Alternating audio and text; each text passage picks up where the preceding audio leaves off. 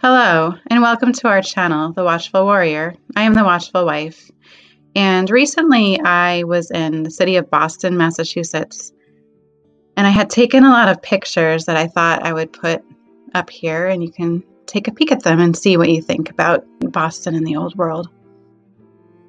This is a map of Boston Common, and Boston Common is known to be the oldest city park in the United States, dating back from 1634.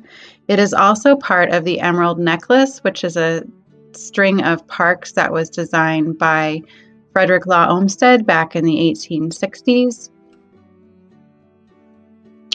This is the bandstand that is on the common. I wasn't able to get too close to it because, as you can see, there's something going on there, but it really looks very old world. Supposedly, this structure was built in 1908.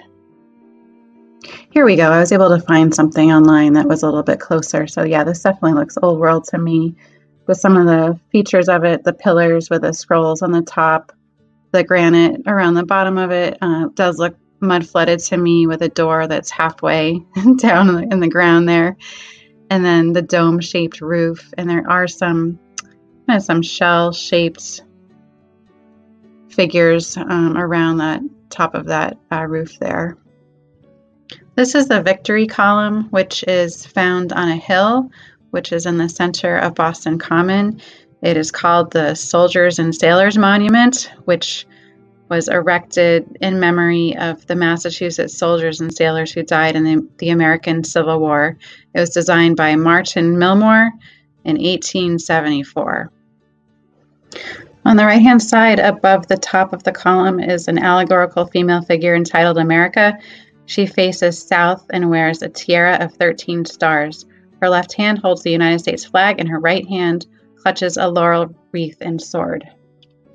And then there's bronze statues around the corners of the monument representing various things, but I assume those statues were just added on and that this large stone column is really what we see that's left of the old world. And then I walked up Beacon Street. Beacon Street is on the north side of Boston Common, and it's really known for a lot of the brownstones. The street goes up a large hill, and it's definitely mud flooded in appearance. And then you can see all these beautiful buildings with a brick and all of the um, fine details around all the windows and the doorways. And these are just some of the buildings that I came across. I was just really amazed by all of the intricate details and the scroll work, the archways, the large doorway. On the left here is a home that has some ironwork, and then you can see I was just really interested by on the top of the windows on the left, you can see there's a lot of shell work that appears to be like a green copper color. So I thought that was really interesting. I couldn't really get a really good picture of it. But and then on the right, just you can see more of Beacon Hill. On the left here is a home, which I did take a picture of it from farther away so you can see it, but just just thought it was interesting with the stonework there. And, and then on the right is a building, just several buildings with a lot of the brick and the ironwork and the copper up at the top. And then I took a picture of this gas lamp. I know there's a couple of pictures in here with, with gas lamps. And Beacon Hill is known to have 2,800 gas lamps. And the gas lighting in Boston dates back to 1828. And it, it is in various parts of the city. Beacon Hill is most well known for these lamps. On the left here is a beautiful brick building. There are some gas lamps. And then you can see the copper that runs vertically uh, over the windows in the foreground and also in the back towards the background of this picture. And then if you look towards the sidewalk where the fire hydrant is, you can definitely see some mud flooding there with the windows that are going below the ground. And then on the right side, I just, you can also see more mud flooding and I like the pillar with the scrolls. So here are some of these buildings looking a little bit farther away. So you can see more of the detailing and the copper that is along the building on the roof line and the building on the left side. Looks like some slate roof too, from what I can see. And here is that white building that was in one of the pictures, the close up version. And it just looks really interesting with the two kind of um, cylinders, I guess, in the kind of the front of the building. So we were really curious as to what this might have been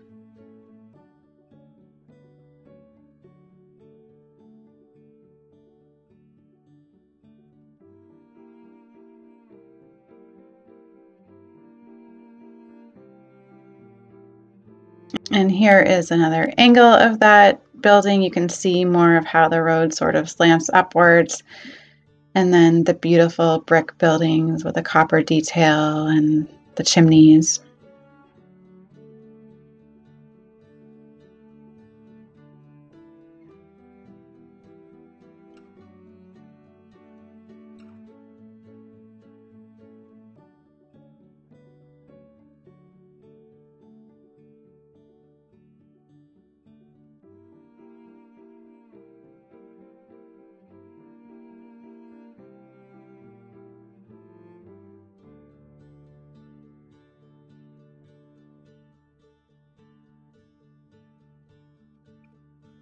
Here we have another victory monument located more on the southern part of the common.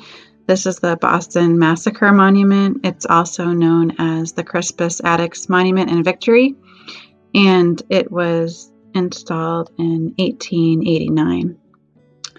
And this is another granite obelisk. And I thought the base was really interesting. Those, I don't know, what are those called? The metal pieces that are on the base of the monument.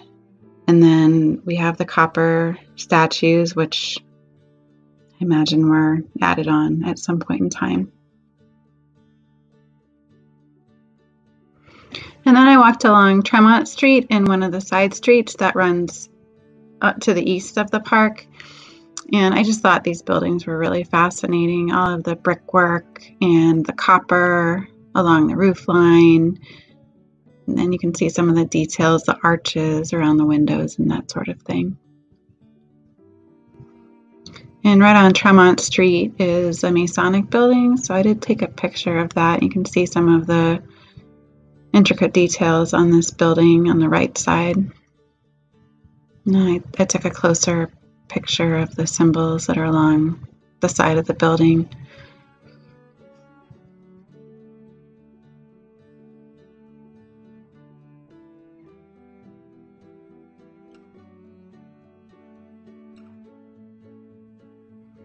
And this building was really, really fascinating. Very detailed work. Um, on the left side, on the right of the picture, there's like a little figure type person. I don't really know what that was all about. It was kind of strange looking. But the rest of it was very ornate details, scrolls and leaves and things like that. And then again on the left side, there's a beautiful um, stone building with copper, looks like a lamppost or something on the balcony there. And then on the right, there's a beautiful brick building. And I thought what was interesting were those three kind of, I don't know what they're called, tower silo type of things on the top of the roof with the windows. Kind of interesting. So here's an interesting one for you. This is Boston's best kept old world secret. This is the Steinert Hall, and it was established in 1896 by German immigrant Steinert's and son. When um, at a time when Boston was known for its piano manufacturing, and this hall was nicknamed Little Jewel because of the acoustics. And I thought this was something interesting that I found online, but the hall is located four stories below ground. And yeah, it's just really interesting. I didn't realize that this hall existed. I'd heard of Steiner, obviously, but never heard of this hall. So, good little secret. Here we have a picture of Steinert Hall a little bit farther away. The pianos were sold on the ground floor, and then the recital hall was four stories below ground and was a small hall but also attracted the finest classical musicians and opera performers of the day. But it kind of blows my mind that it's four stories below ground, so that probably means that most of these buildings around here are supposed to be much taller. At the very southern end of the Boston Common is Central Burying Ground. It dates back from 1756. And honestly, just looking at it, you can't really get inside because you can see there's a iron fence all the way around it, but it looks just like the top of a buried building.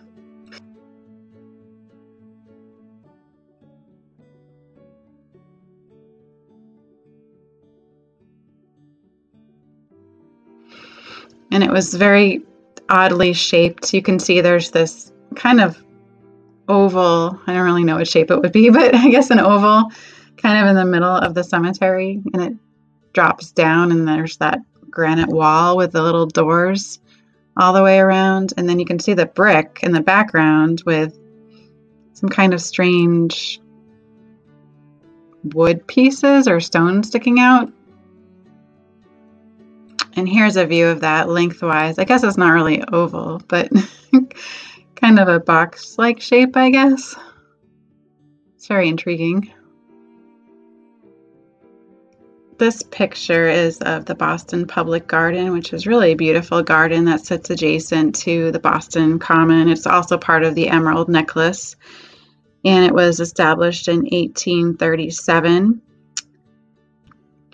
And part of Boston is called the Back Bay, and it's another really interesting deep dive to get into at some point in time, but it was filled in in the 1800s. It sat on mudflats and then was filled in.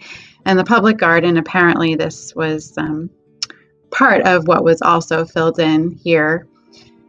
And this is the home of the swan boats.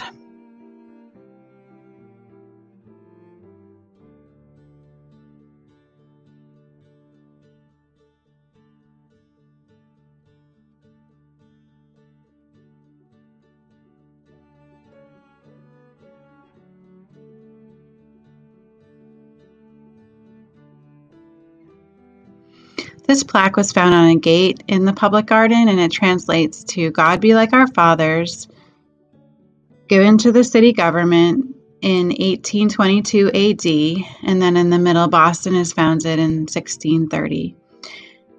And just the whole Latin language is very intriguing and why it's actually considered a dead language and only used by the Catholic Church and things like that. If you know, let me know in a comment. And this is a statue of a Unitarian minister. It sits across from the church that he ministered back in um, 1803. And I just thought that I'm assuming that the statue was added on at a later point in time, but the granite work is really, really pretty. As you can see, I have a close up on the right side of this, the seashells on the top and the beautiful details. This is the Arlington Street Church. It sits right across from the public garden and it was completed in 1861. This beautiful building here is actually the flagship store of Restoration Hardware, interestingly enough. The building was established in the 1860s. And then on the right side there with the church, that church is located on Newbury Street, one of Boston's famous streets and it's called Church of the Covenant.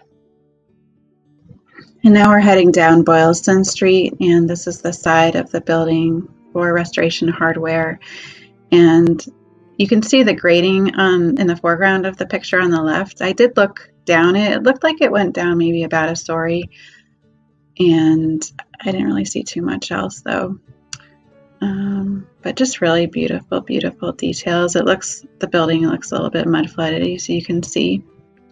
Here's the back side of the building, and I just thought it was interesting because you can see windows down towards the bottom there, so it did look pretty mud flooded.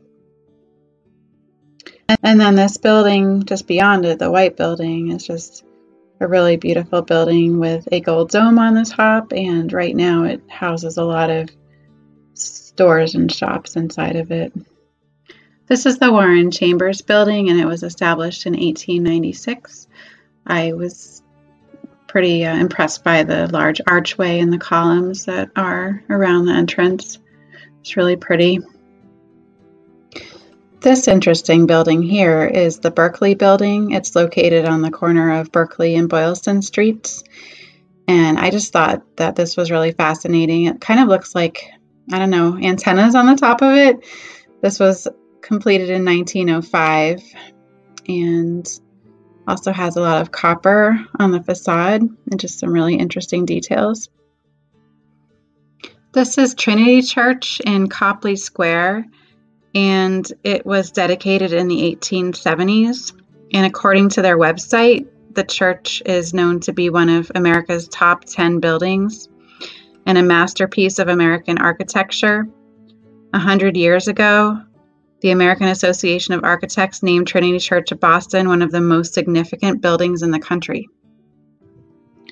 So, this is the front of the church. It does have a lot of religious figures on it and some kind of strange looking figures as well. So I didn't really get a warm, fuzzy feeling by really looking at the details of the church.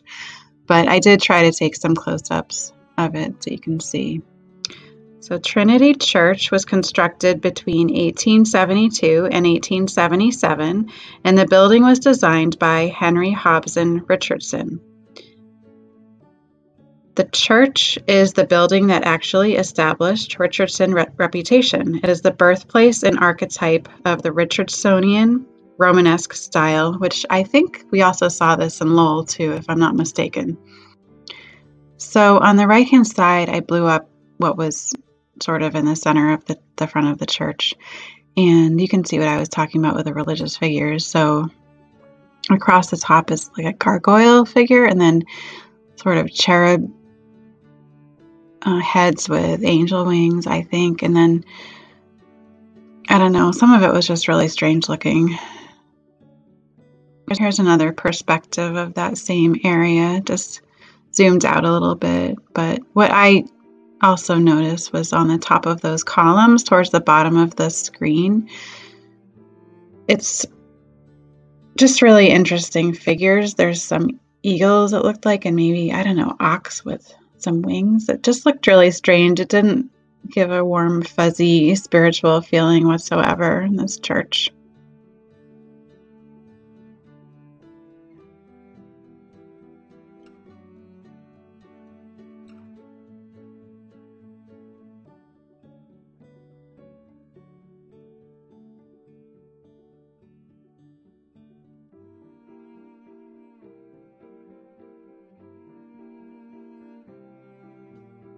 And then this is the very bottom of the columns, and you can see there's some circular area etched into the stone, and those were again kind of strange looking animal figures.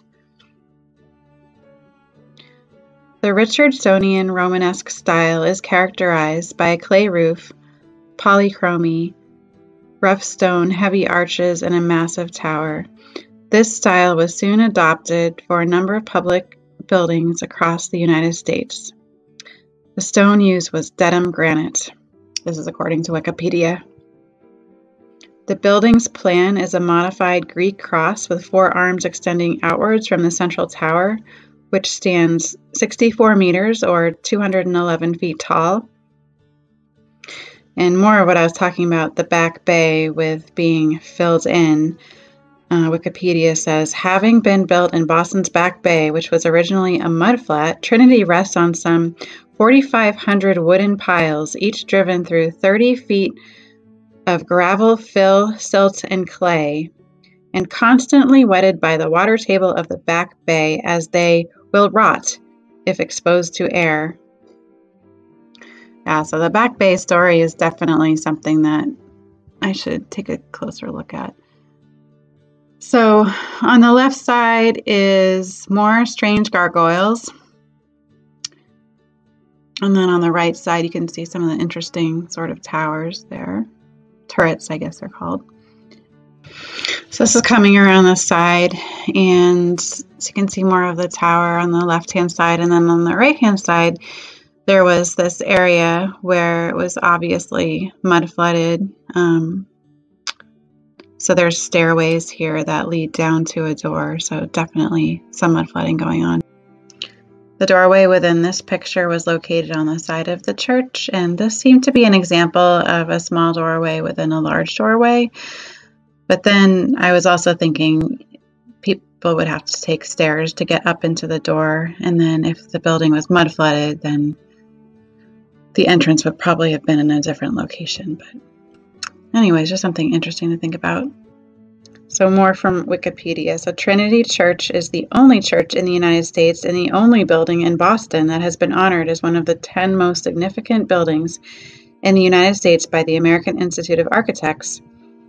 In 1885, the architects voted Trinity Church as the most important building in the United States.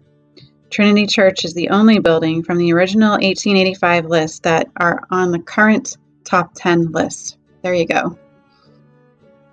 And so the back of the church is actually a lot more pretty than the front. Like I was saying, there's really strange kind of figures in the front, but the back had less, a lot less of that, and was really pretty. I liked the the round turrets and the towers, just really pretty view. And then you can see towards the ground there is a lot of mud flooding going on. And then there's some copper finials. It does look like a slate roof on this building as well. And you can see more of the mud flooding. This is really a beautiful, beautiful section of the church. Just really stunning. And this was an older drawing that I had found of the interior plan. So I just thought that was interesting and thought I would include it for you. So here's an older picture and Know, the architecture is just really stunning. It kind of reminds me of a really small version of the Frontenac, maybe in Quebec. It's just um, with a big tower, kind of just remind me a little bit of it, but really beautiful, beautiful building. And so, like many cities that we are hearing about, Boston has had also succumbed to a big fire. It was called the Summer Street Fire and this is actually part of Trinity Church's history. So, Trinity Church supposedly was located on Summer Street and was part of this great fire and was destroyed. And then it was moved to the current location on Boylston Street. And the Summer Street fire was also known as the Great Fire of 1872, and it destroyed the entire church building and then the congregation moved to the new building in the Back Bay in 1877. And this older church here was actually organized in 1728. And Boston is also home to another very well known church called the Ching, uh, King's Chapel. And so when the King's Chapel became overcrowded, they supposedly built this Trinity Church and opened in 1735. And here we have the interior of the old Trinity Church. And I found this online. I'm pretty sure it's the old one because it said that it was released in 1860, something like that. So that would have been before the new church was established. So pretty interesting, huh? So, this picture here looks like the current church that's located in the back bay. These pictures here, the yellow pictures, I actually found in a collection from the New York Public Library that was online. I did find the um, kind of those symbols on the outer edges were interesting. I note that there's an obelisk on one of them, and I'm not sure what the other one is, but just thought that was interesting. Um, Trinity Church sits on Copley Square, and if you turn with your back facing the church, this building would be on your left hand side, and this is the Copley Square Hotel. It's another really beautiful building. This building was built in 1891, supposedly. Directly facing Trinity Church is the Boston Public Library. It was established in 1848. This building is really beautiful as well. It has a lot of interesting architecture and I'm not going to really get into it right now. They actually do tours of this building, but it's really pretty. And this church sits across the street from the library, and it is Old South Church. It was established in 1873, and I don't have really good picture of the building. Unfortunately, the steeple is under construction, but you can see the beautiful, stunning copper dome. Here's the church from Wikipedia. So I was able to locate a picture that I had taken over the summer of the church, and so the tower is more exposed here, so you can see the whole thing. And then, as an added bonus, I also found these pictures of the Church of the Covenant that I had taken during the summer. And if you remember, Church of the Covenant was back when I was talking about the restoration hardware store. Um, the church was kind of in the background. So this is actually a really big church and it's very, very beautiful. The church is located on Newbury Street, which actually parallels Boylston Street. And it was designed by Richard M. Upjohn, who insisted on a high Gothic edifice. And the steeple measures 240 feet or 73 meters high. The building was built between 1865 and 1867, and it is a National Historic Landmark.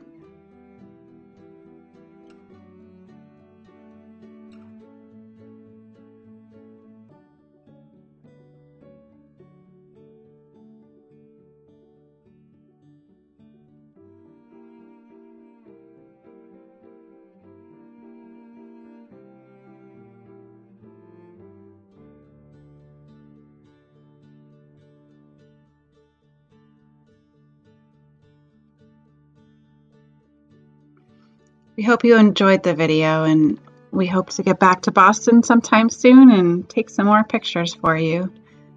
Thank you for watching.